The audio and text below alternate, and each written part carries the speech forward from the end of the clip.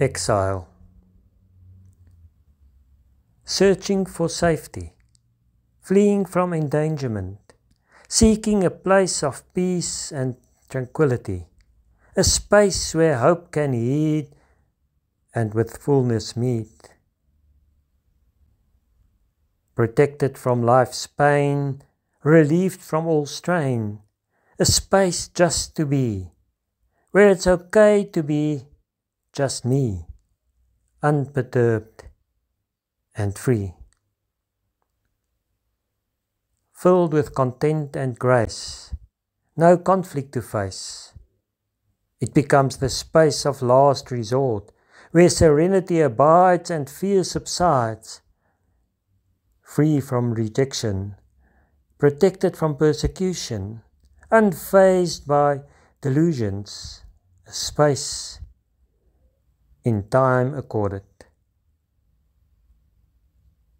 In exile, you also remain on foreign terrain, faced by uncertainty in search for the tranquility.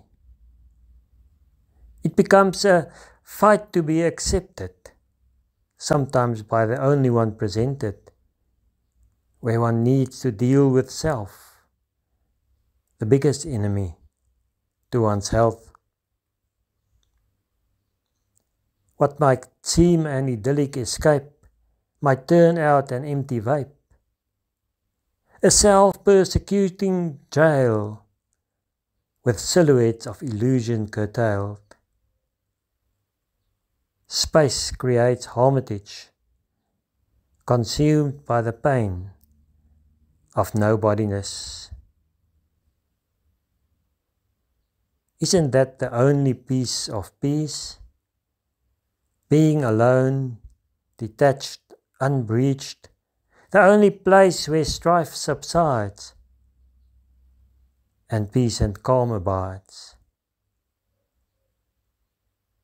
Even though, though not paradise, it still be the safest place to hide.